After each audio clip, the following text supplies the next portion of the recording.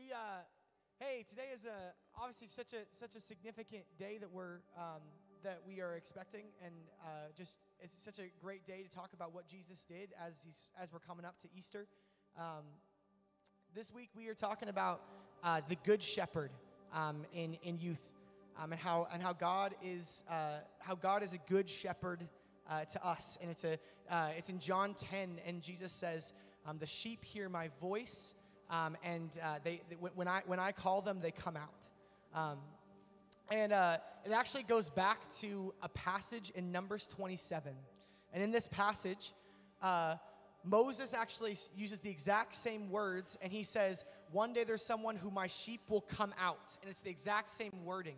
And it's meant to draw back that, uh, that Joshua was the person that fulfilled that role and Joshua's name in Greek was Jesus. I read that this week, and I was like, like if you if you transliterate it, actually shows the name Jesus in there. Um, that the whole Old Testament, um, in its entirety, uh, points to a future shepherd. Man, there was these distorted images of shepherds um, all throughout the Old Testament that told us about a future one that one day was going to come.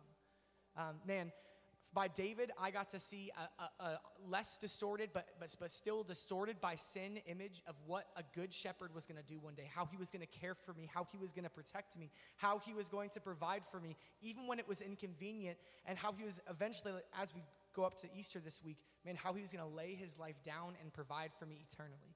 Um, that is what we get to celebrate today the fact that our good shepherd has come. Um, let us, let us, let's pray as we enter into worship to celebrate um, and honor that God who, um, who stepped down from, from, from heaven and from eternity to come um, and be with us and sacrifice for us, the Good Shepherd. God, today uh, we pray and thank you for the work that you did. We thank you for the fact that, um, that you looked over all of Jerusalem um, and, you, and you looked over the city um, looked into the, the death that you knew was coming and that you would lay your life down for us, and you willingly walked into it. God, we, we thank you that today, because you're our good shepherd, we shall not want. Um, you provide everything that we need, God. Um, eternally through, through the cross, um, physically, because you're still with us and in the Holy Spirit, providing um, means for us to live each day in the breath in our lungs right now, Jesus. God, we um, today, as we seek to worship you and honor you today, um, would you guide us um, to do that the best way possible? Um, would you uh, change hearts and minds uh, to, uh, to follow you greater today? Um, we love you, Jesus. We pray all of these things in the powerful name that can actually change circumstances. We pray this in Jesus' name. Amen. Sound up on this? There we go. All right, it's good to see everybody here today. We're going to get started in just a minute. I just wanted to make sure we kind of put out an email, but if you haven't looked over our new mission wall, you really need to look that over. Um, actually, I would tell you that we ordered that thing. It took about two and a half months or so to get it in. Uh, it was made in Russia. Uh, and so we didn't know if we were going to get it or not. And William spent a whole lot of time putting it up. We made that information. If you read all those things on it, you'll know more than most people know about missions and Baptist church work. And so uh, we'd like for you to look that over sometime today. And then we'd also like to say that one of the things I've had out here for a while, I keep forgetting to mention, is spiritual gift test. If you'd go by and get those sometime and take them, we're trying to get everybody spiritual gifts so we can plug you in. And uh, we just want to abuse and use you uh, so that we're equal opportunity abusers. All right? We want to find a place to plug you in so you can serve God in this church. And so that's what, what we're looking for. And if you'd take those and fill them out and bring them back to me, we'll score them and give you about a six, seven page report of what it says. And what everybody gets afraid of is they can flunk it. You cannot flunk a gift test, it is impossible. The only way you can flunk it is if you don't fill it out, all right? So don't worry about that. We'll say, my gift may not be, well, that's the reason they're gifts. They're, they're according to you and who you are. They're not about everybody else, it's about you. So if you'd fill them out, it's a lot of good information when you get it, and so we'd appreciate that. And then uh, I want to just mention if there's any visitors here today, if you'd raise your hand, know we got some. We have some from Alaska that were at our church at Lighthouse, and uh, praise God for them, the Lunsfords, and as they're here with us today. Any other ones? I'm kind of hard to see today. They put some new lighting in, so it's kind of like being on TV. I can't see all your faces, which I haven't been able to see your mouths for months, and now I can't see your faces. So uh, we just want to welcome everybody here today. and want to ask you guys to go at the end of the service over to the side. Uh, we'd like to give you a bag to remember us by with some gifts from us uh, to remember your visit with us. And we had a good time with them last night, went out to eat and talked quite a bit, got caught up on a bunch of stuff.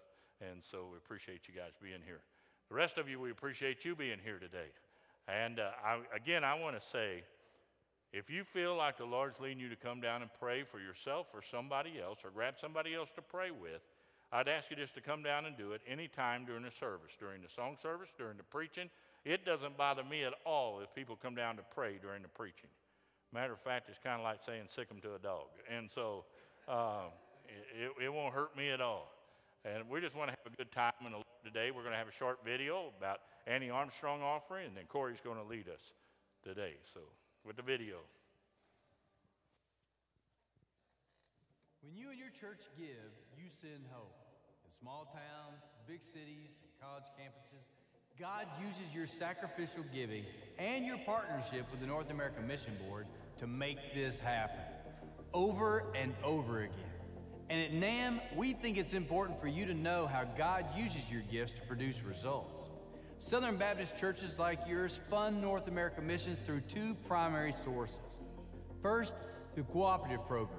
Your gifts to the CP typically come from your church budget and then go directly to your state convention. Each state then sends a portion of that money to the SBC Executive Committee, and from there, more than half of CP goes to the International Mission Board. NAM, SBC seminaries, and other entities receive a percentage as well. NAM receives 22.79% of cooperative program dollars. We use those funds to support evangelism events, to support ministry centers and missionaries, to endorse chaplains, and for operations. Altogether, those funds make up 35% of our budget. But the largest part of NAM's budget, 50%, comes from the Annie Armstrong Easter offering for North American missions. More than 100 years ago, this offering was named for a bold missions advocate who rallied SBC churches in support of missionaries. Today, Southern Baptists have thousands of missionaries serving in North America.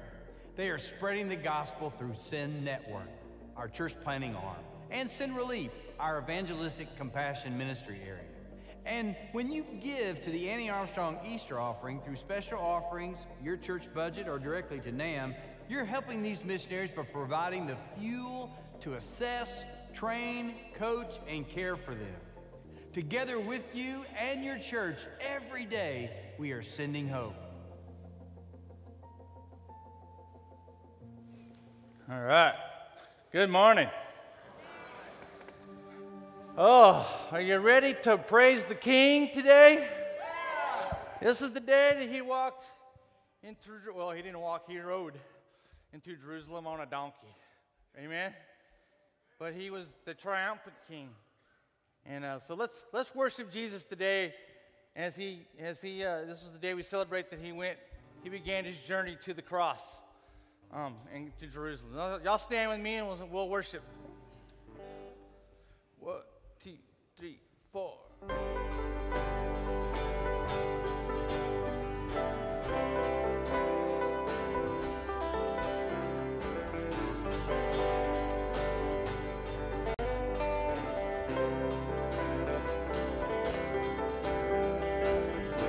Breaks the power of sin and darkness. His love is mighty, so much stronger. King of glory, King above all kings. Who shakes the whole world with holy thunder, and leaves us breathless and all in wonder. King of glory, King above all kings. Yes, is amazing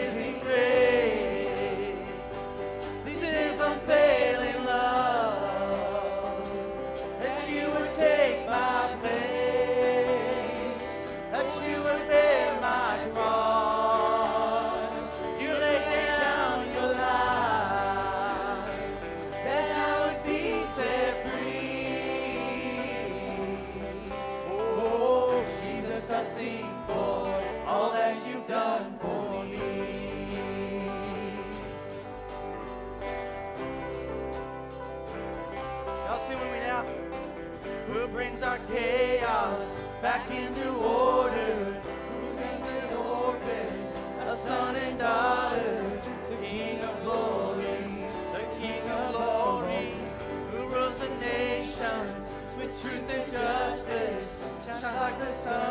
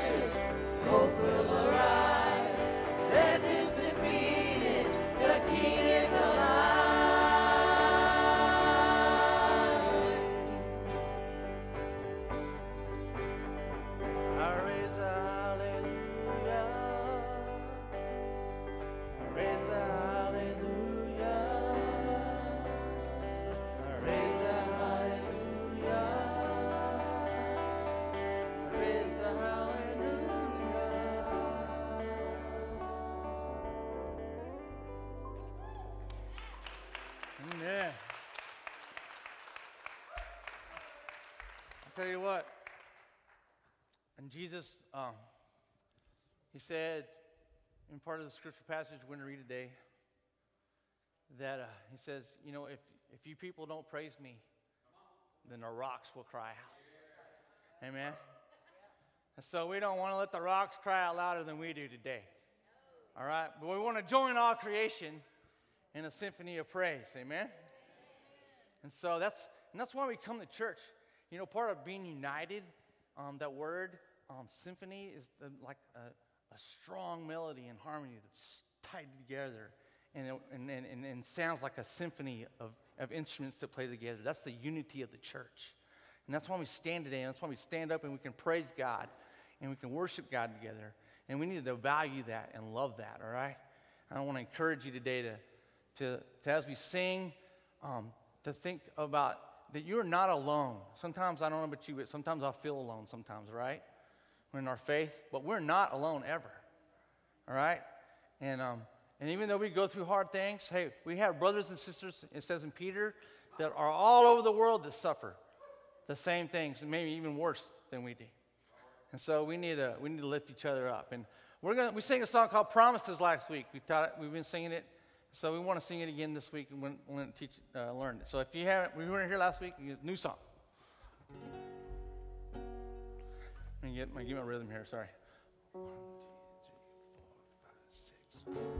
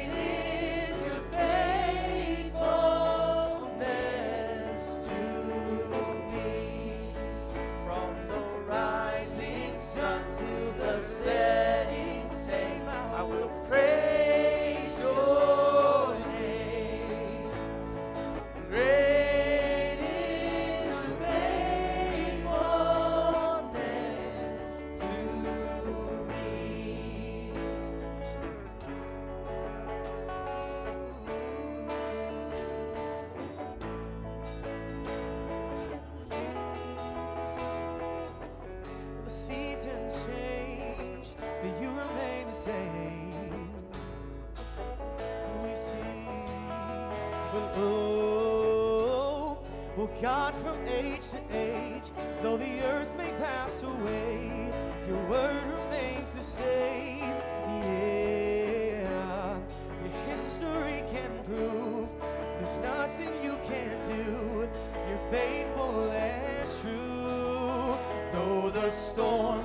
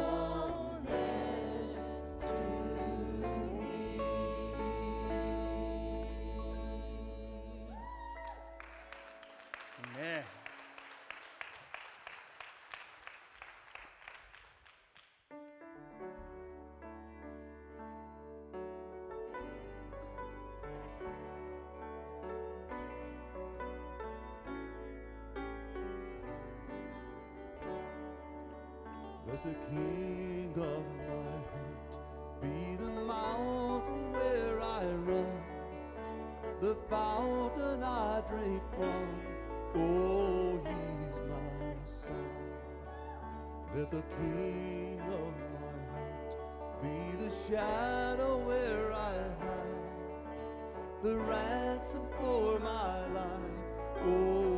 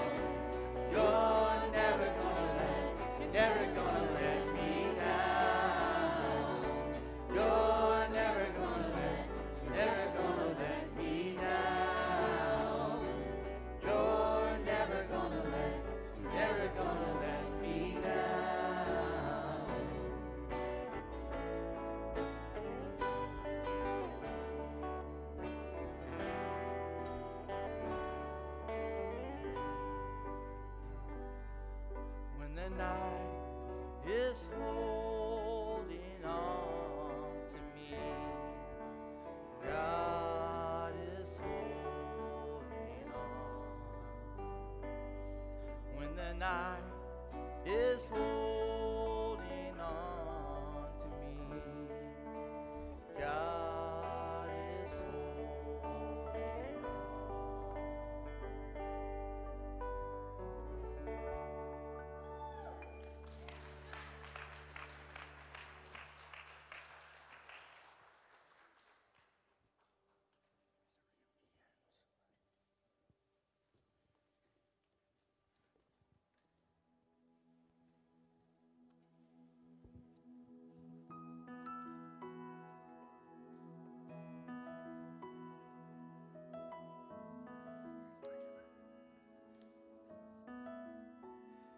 can only imagine what it will be like when I walk by your side. I can only imagine what my eyes will see when your face is before me. I can only imagine.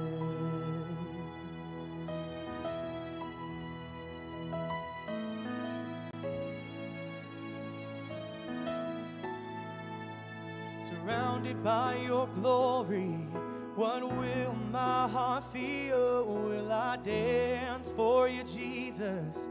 Or in awe of you be still? Will I stand in your presence? To my knees will I fall? Will I sing hallelujah?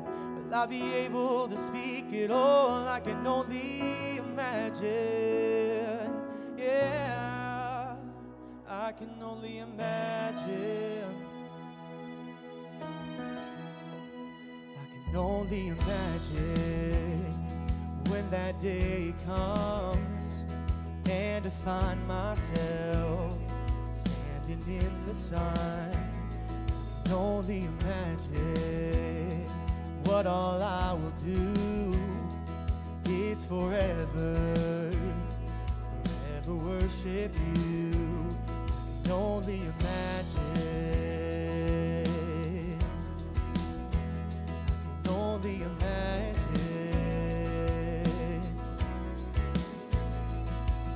Surrounded by your glory, what will my heart feel? Will I dance for you, Jesus? Or in awe of you be still? Will I stand in your presence? To my knees will I fall? Will I sing hallelujah?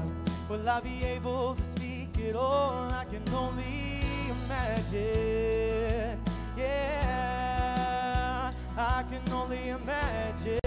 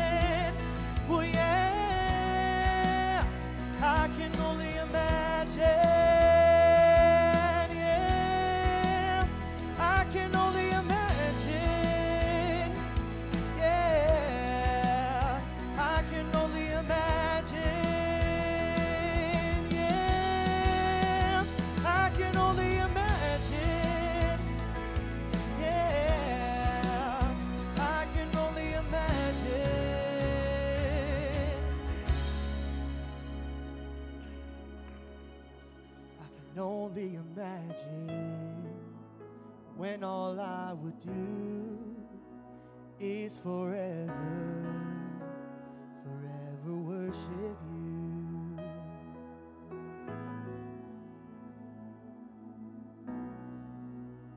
I can only imagine.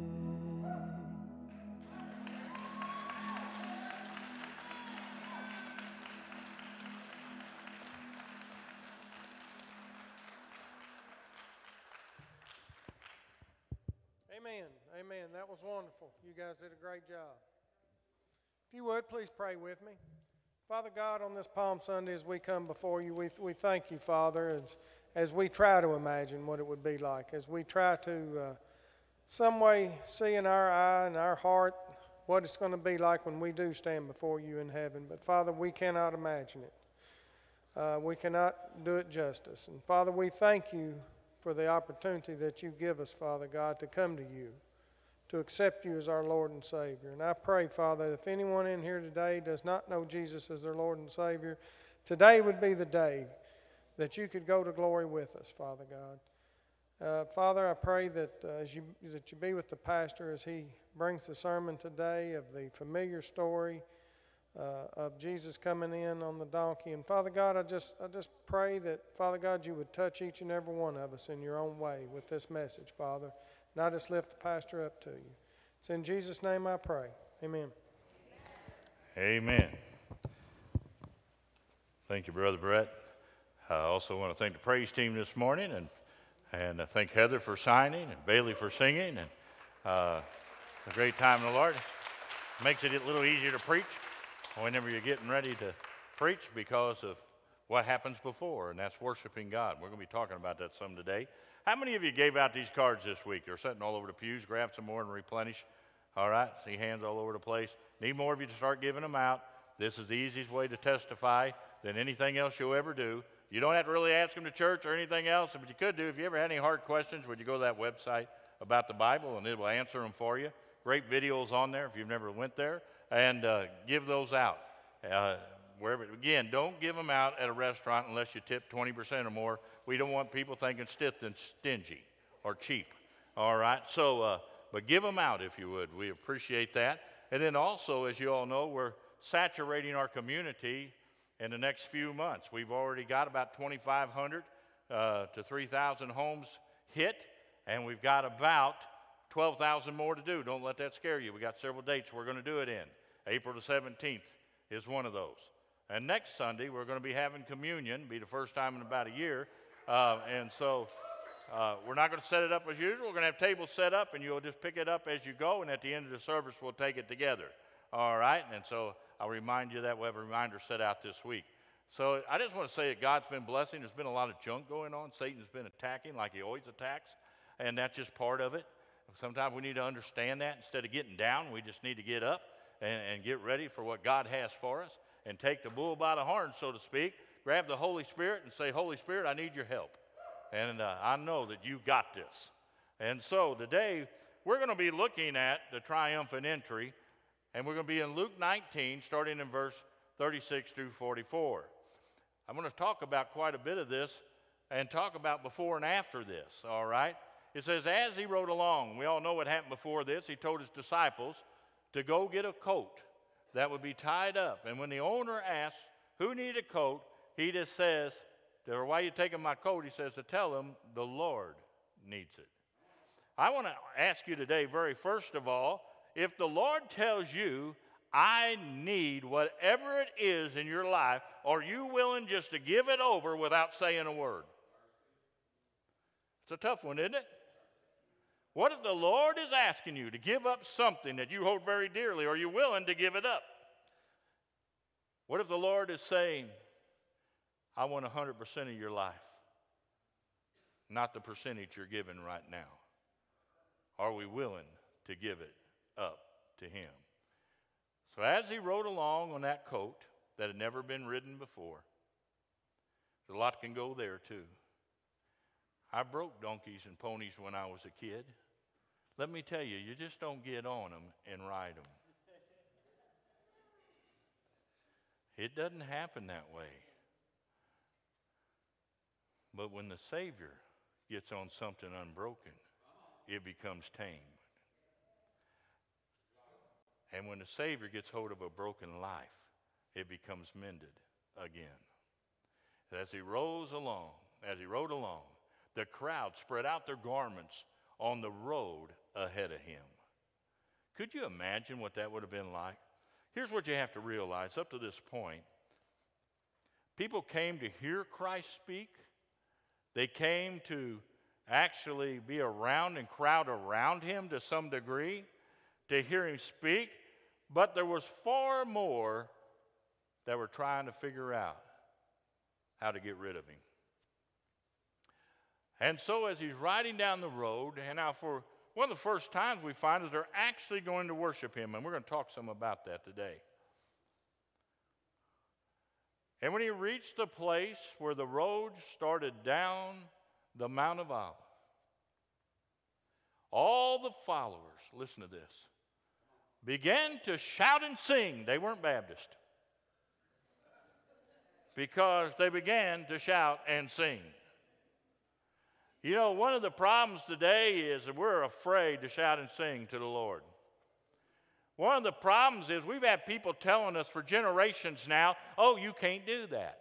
I want to tell you, God's Word says that's what it's supposed to do. Do a word search about shouting out to the Lord. You'll find it's everywhere.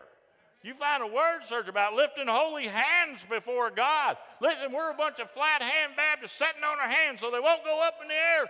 You and I need to get excited about the things of God I want to tell you if you get excited about anything else in your life, I want to tell you it's blaspheming if you don't get excited about God. If you can stand up and yell at a dumb TV about a dumb game that's being played about people from people you don't even know, you ought to be able to praise the Lord like never before. You see, the problem is we've been told that that's not right. We've been told Folks, I want to ask you who's telling you it's not Jesus Christ, it's not the Holy Spirit, and it's not God Himself. It's the world and Satan in the world. And what we need to understand is we need to worship God because they began to shout and sing as they walked along, praising God for all the wonderful miracles they have seen. I know there's some of us right now that's saying, well, I really haven't seen any miracles. Baloney. If you know Jesus Christ as personal Lord and Savior, that's your first miracle.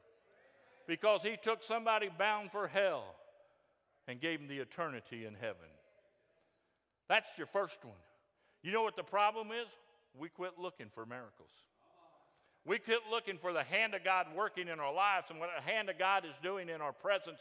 We quit thanking God for everything He does. We quit thanking God for all the little things so we don't even recognize the big things anymore. They walked along, and started shouting and praising him because of all the miracles that they had seen. Go on and blessings on the king who comes in the name of the Lord. Peace in heaven and glory in the highest. Now I want you to, I want you to think about this. Think about that crowd. Think about it, Jesus riding on. Think about that crowd. A lot bigger than us in here, of course. Thousands of people were gathered around him, and they're praising him and singing out to him. And now what's going to happen is some religious leaders are going to try to get involved. You know what I don't like? I don't like religious people. I like godly people. I don't like religious people because religious people think they're something that they're not. I like people that are godly and you can see what they got. We go on in verse 39, it says, But some of the Pharisees among the crowd said, Teacher, rebuke your followers for th- saying things like that. Oh, you know, it's like the people in the church say, Oh, you shouldn't sing no songs. People in the church, Oh, you shouldn't raise your hands. People saying in church, You shouldn't clap. People saying in church, You shouldn't shout. Oh, this is a solemn time. I want to tell you something. Worshiping is a solemn time, but it's a rejoicing time too. And we need to learn to rejoice in the Lord. We used to sing years and years ago when I was a kid, we sang, Rejoice in the Lord always. And again, I say rejoice, but we had to do it without rejoicing. I just don't know if that was right. I remember singing, you know, and when you were a kid, when I grew up in church, you could do all the things like making signs and jumping and stuff, and everybody thought it was cool. And then as you got to be a teenager, it said, don't act like a fool. Sit down and shut up. Folks, I want to tell you what we need to understand is we worship God, not somebody else. We worship God and not this building. It isn't this building, we're the church. And we need to worship him like never before. So those Pharisees came along and said, Man, you need to stop them from saying this. You need to stop them from doing this. That's like the church lady on Saturday Night Live. Well, I didn't think it was wrong. And if you don't know that, you need to go look up a clip, all right? So, in verse 40, it said, He replied, and I want you to listen. If they kept quiet, Corey mentioned this one, the stones along the road would burst out into cheers. How are you and I really supposed to worship God? For one thing, we got to realize who God is. And we got to understand that He is our Savior. He's the King of kings and the Lord of lords. He's a great I am. He's a creator. He is everything. Jesus said, if they didn't, these rocks would all cry out. If God can make a dumb rock cry out, he could make a dumb pew setter cry out too. You see, we need to understand it's about glorifying God. It's not about you, it's not about me, it's all about Him. And it always will be. He said, These rocks would cry out if they didn't cry out. And we find so many people, oh, that's just not dignified. Well, maybe you're so dignified you can't be glorified. Somebody might took offense to that. If you did, good. Verse 41 says, But as he came closer to Jerusalem, as he's overlooking and comes closer to Jerusalem, and saw the city ahead, he began to weep. You see, he began to weep. There's another time we see in the Bible he began to weep, and it was when Lazarus was dead. And he wept, but it wasn't because Lazarus was dead, because of their unbelief in who God was and that he could raise him from the dead. And now, as he's getting ready to go in the city, he understands what's going to happen. They don't understand it, but he understands what's going to happen. And as he's going into the city, he, he begins to weep. And he weeps because here's Jerusalem, God's chosen people that would not serve God, that were going to put him on a cross, that he would die for our sins. He had to die a cruel death for you and I. And we'll talk about that some next Sunday. But as he d- was looking at that, he was saying, I had to do this. I'm having to do this. And you don't understand what I'm getting ready to do. Verse 42 says, How I wish today that you, of all people, would understand the way to peace. He's talking to those that followed him. He talked to those that was close to him. He's talking to those that knew him. He's talking to those that served him. He's talking to those who were with him day and night. He's talking to all those that followed along after him. He said, I, wish of all people you would understand. I got to believe today God's looking down at our congregations and our churches, and I believe He's saying the same thing today. I wish of all people you would understand. You've had enough Bible knowledge, you've had enough teaching. You've even had enough discipleship, although I'm a firm believer we need much more. Of all people, why, why don't you understand? You see, I believe once we finally understand who Christ is in our life, it will change us like nothing else can ever change us. And when God says the rocks would cry out if they didn't, I believe that our hearts will be crying out for Him. Says, But now it is too late, and peace is hidden from your eyes. He goes on to say, Before long, your enemies will build ramparts against you, your walls and encircle you and close in on you from every side. I want to tell you right now what Satan's going to do is pull it out. Well, that's not happening. I'm going to explain to you how it's happening in just a minute. They will crush you into the ground and your children with you. Your enemy will not leave a single stone in place because you did not recognize it when God visited you. See, we act like, well, this isn't happening. This didn't happen. Wait a second. When's all that? Let me tell you what's happened. Separation of the family is killing our country. Between divorce, fatherless children that aren't in the home to help raise them, between all the other things that go on, between the abuse of drugs and alcohol, between the sexual abuse because of other things, everything else going on in the world, I want to tell you something.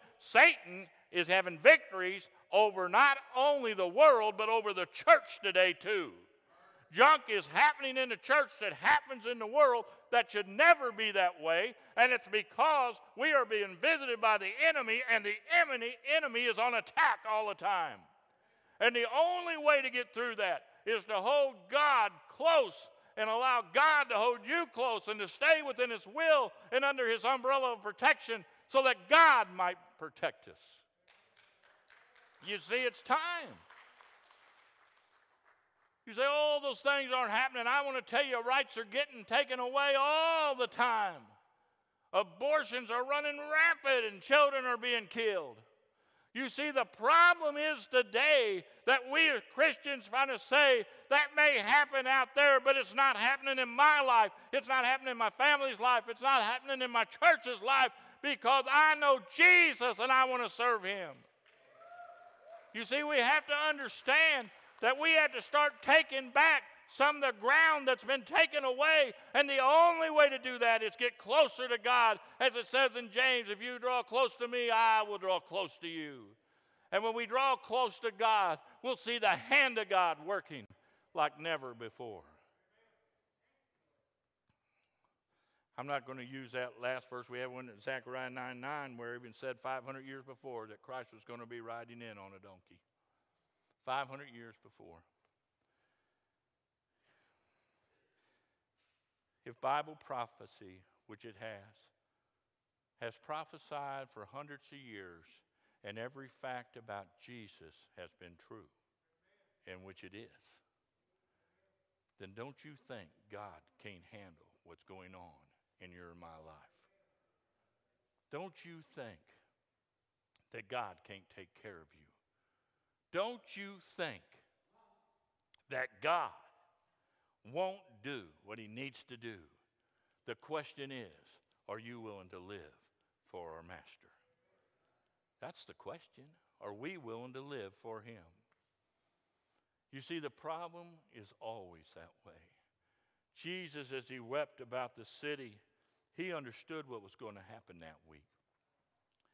You see, that was on a Sunday, and the next day, he was going to go into the temple to teach.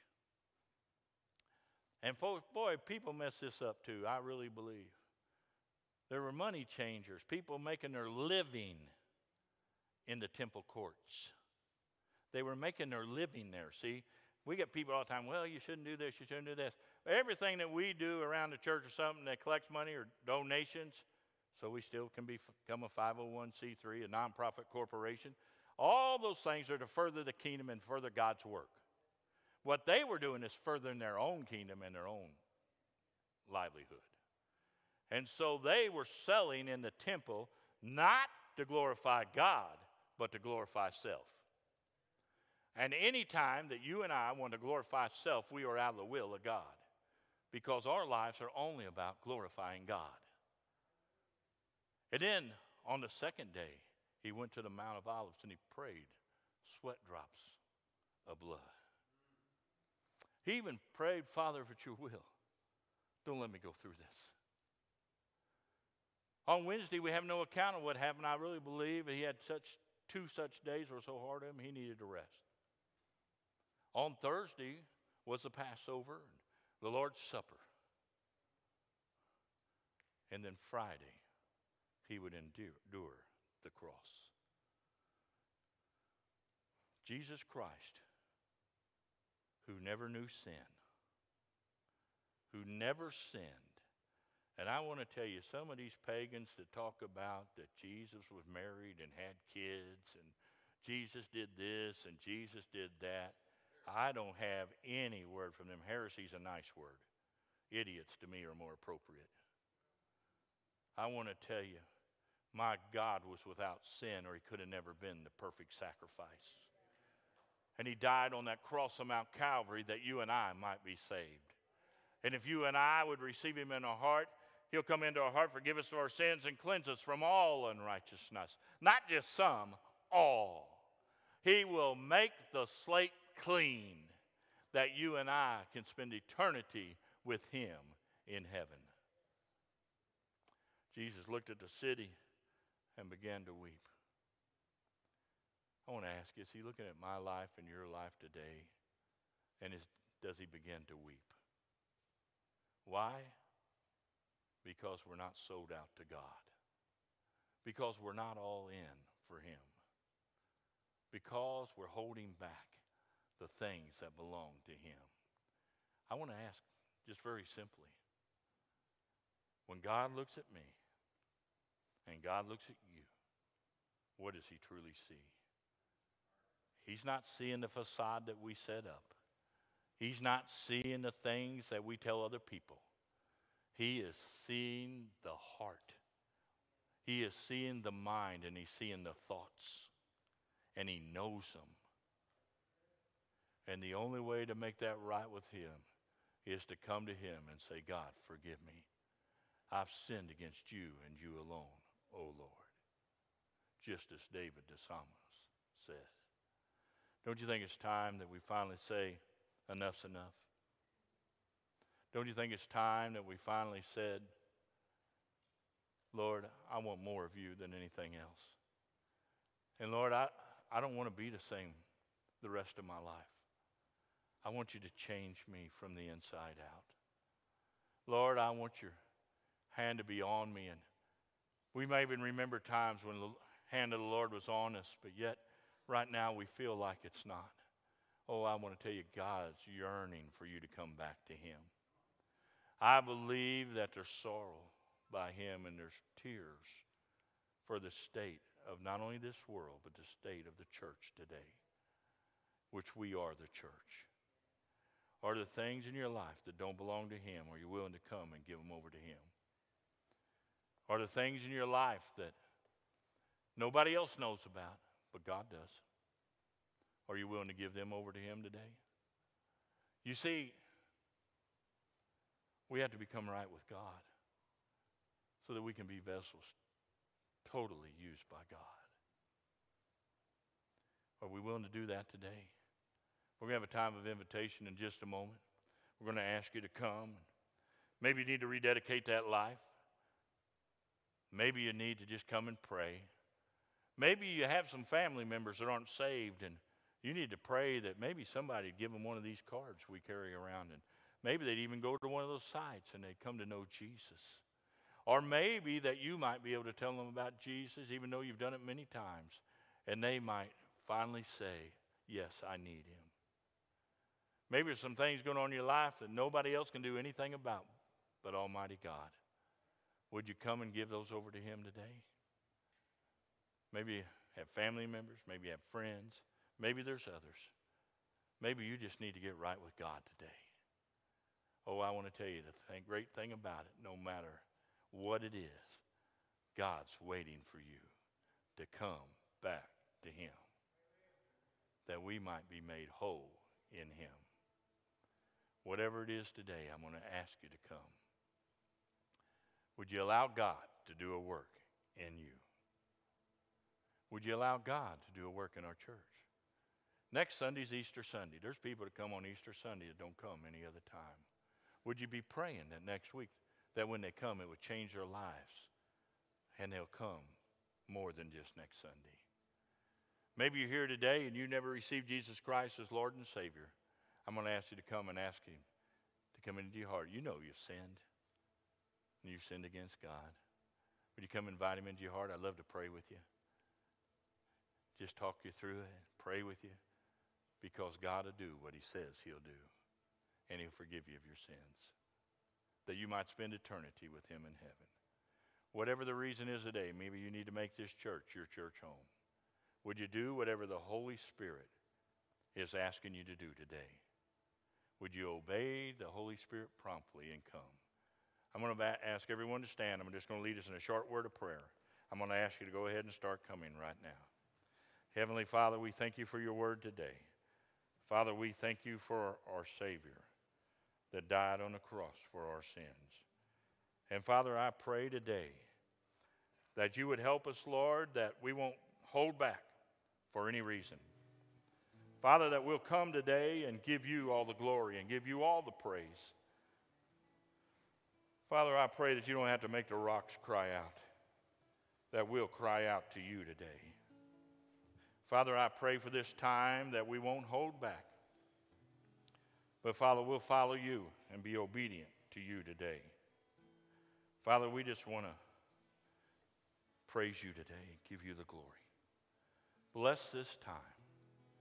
Father, I pray right now a hedge of protection be put around this place and Satan won't be able to rob the victory because you are victorious, O Lord. Father, we turn this time over to you. And these things we ask in Jesus' precious and holy name. Amen. Would you step out and come as we sing?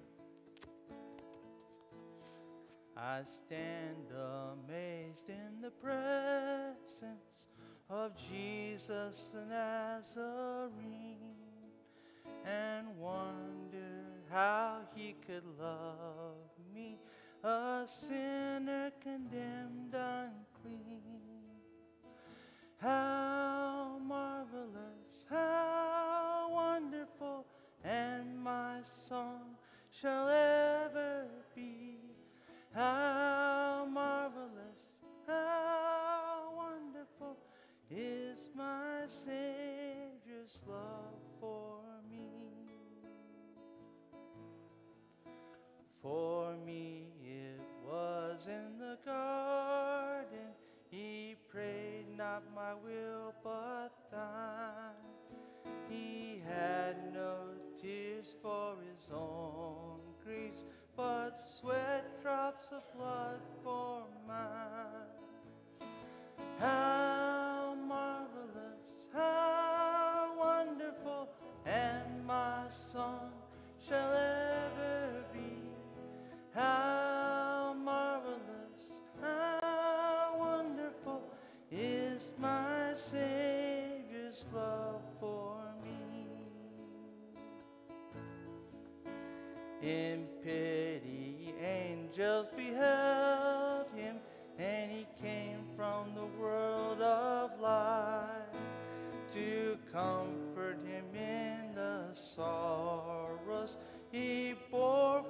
soul that night.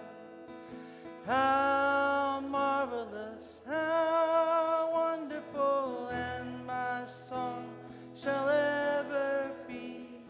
How marvelous, how wonderful is my Savior's love for me. If you need to come today, I want to just sing that again. Sing it like you mean it, would you? You don't have to whisper it. You can sing it out. Would you just sing it from the heart today? If you need to come, would you just still come? This altar is for all of us. It belongs to God. God's tugging on your heartstrings. I would ask you to please come. He's the only thing, the only one that can make a difference in our lives. So would you come as we sing? He took my sins and my sorrows, He made them His very own. He bore the burden to Calvary and suffered and died alone. How marvelous, how wonderful, and my song shall ever be. How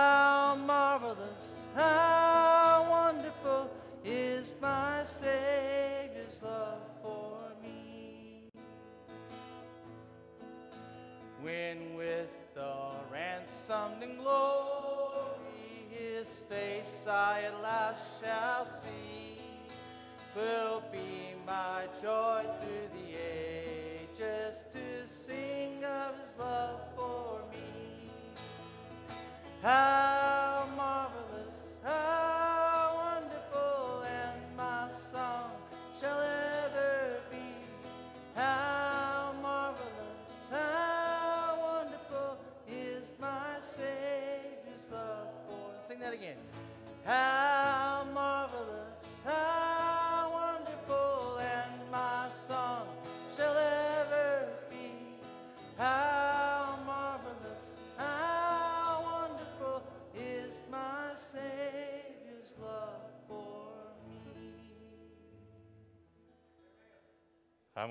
Make this real quick. Check everything out in your bulletin.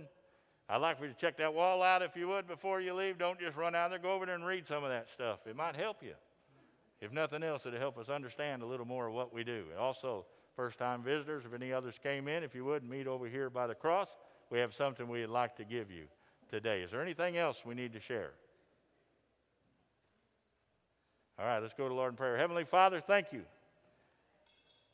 for your word. Thank you, Lord, for Christ coming for our sins and dying for our sins on the cross. Father, I pray that you'd be with us throughout this week. And Father, that you would help us to remember who we are and who we serve. And Father, as we go out the doors of this building, help us to remember that we are entering into our mission field. And so, Father, we want to give you all the praise and all the glory. Thank you for this day. Thank you for the decisions that were made today. Father, we lift them up to you.